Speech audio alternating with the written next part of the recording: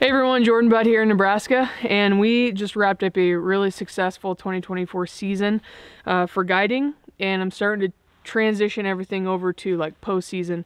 So pulling all the blinds, I'm pulling some cameras down, but I found it really beneficial the last couple years to keep like a few cameras up in the main big bedding areas and like on main travel corridors. And it's a good way to keep track of just bucks that made it through, just you know, look at kind of the overall deer herd, and then also man um, monitor predators. If there's a ton of coyotes um, messing with the deer, I can come in and do uh, make some calling sets and get rid of some of them. So um, a big part of that though is not coming into the bedding area and disrupting them for changing out batteries or looking at cards or whatever. So I've got the Reveal X behind me and I do have cell service here so it just sends pictures to my phone.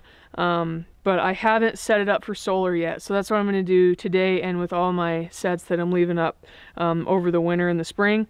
I'm going to put a lithium battery cartridge and a solar panel up. So um, I will not have to come in here and disrupt uh, the postseason deer that are trying to recover from the rut. I won't have to mess with them at all. And this is a fantastic way to do it with a cell cam.